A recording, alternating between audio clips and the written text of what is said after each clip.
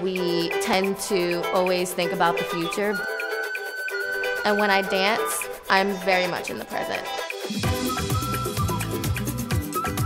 Dance is my escape. That's what I love about it. I'm Elena Bello,